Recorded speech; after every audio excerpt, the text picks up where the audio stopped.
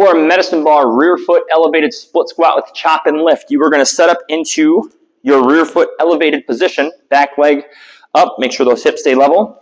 The chop is going to start across the outside knee or the front knee. And as we stand up, we'll lift over our shoulder and chop. Lift and chop. Working together, using your leg to promote the lift, coming down through the chop, maintaining your posture all the way through, doing that for the reps prescribed on both sides. As you get better, you can add weight, but we're also looking for some speed and synchronization on this one, promoting more of our, uh, our strength from that lower body. That's a medicine ball rear foot elevated split squat with chop and lift.